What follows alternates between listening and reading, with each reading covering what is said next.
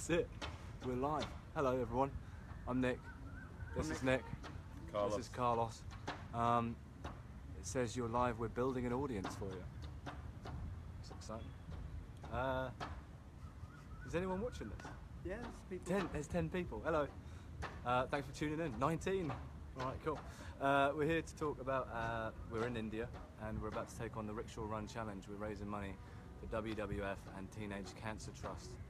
Um, Carl, do you want to talk about the things you've experienced and seen with Teenage Cancer Trust and WWF so far?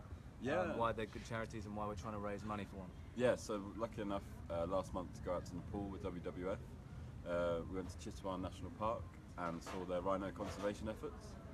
Uh, it was a great experience and we learned about how they're getting involved with the local communities to make sure that rhinos, especially the greater one-horned rhino, are preserved and conserved and they can multiply their numbers throughout Nepal and India in Kaziranga Park in, in India.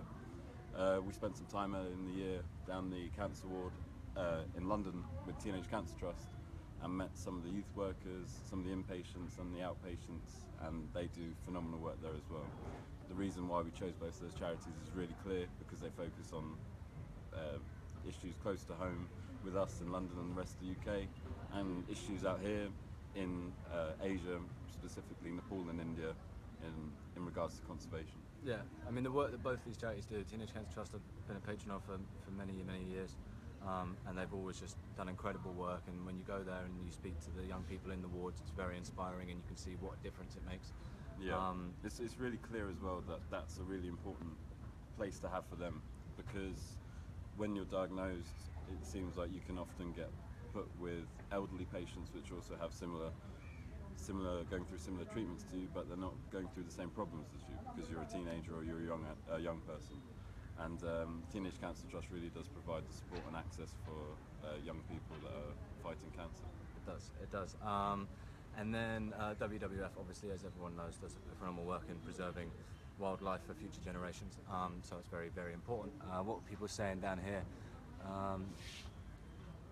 Uh, just say, say hello.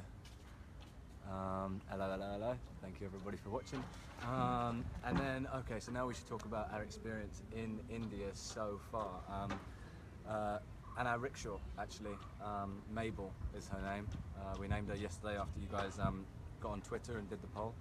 Uh, Mabel won 52% of the vote. Yeah, it was close. close. It was a close. close call, but she did well.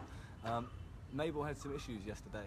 Um, do you want Yeah. to talk about yeah, we, we took her out for kind of a bit of our first ride, um, all going fine, and we Carlos lost lost a bit of power, and another rickshaw pulled up alongside us and said, uh, "Your axle's hanging out the back." So yeah, we were st- uh, stranded with an axle that was snapped in half.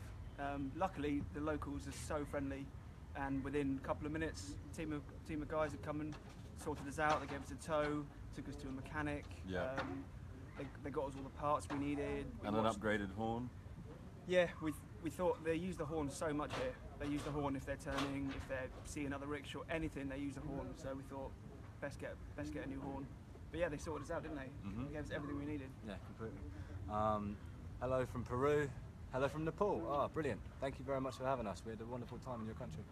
Um, uh, and then, what else? So we set off in two days' time. Um, we've got 3,000 kilometres to try and cover in this tuk-tuk, which obviously is probably not going to make it Seeing we've driven it for an hour and we've already broken the axle. Yeah. Um, and yeah, any any support that you guys can offer us, um, any well wishes, anything you want to say and, and send our way, then um, we'd be massively appreciative. Basically, uh, you can search our page on Virgin Money Giving. It's the Gandhi Warhols. Hello from Hong Kong. Um, hello, Angeline. Hello from Belgium. This is amazing, isn't it? Um, okay, uh, thank you so much for tuning in. Um, I guess now that we know that this works and we can do this, we'll kind of uh, tune in occasionally and give you updates on on how we're doing. And how Um, Mabel's doing. how Mabel's doing. She's uh, she's tucked up asleep at the moment. We put some new some new upholstery on her, so she's uh, she's looking pretty fine, pretty fine. Um, all right, happy New Year, everyone, as Happy well. New Year. Happy New Um, Year. Hope 2017 is wonderful for you, and uh, we'll see you soon. Thank you for tuning in. All right, bye, bye, bye, Bye. bye, bye. Well, I can't stop it. Maybe we're live forever.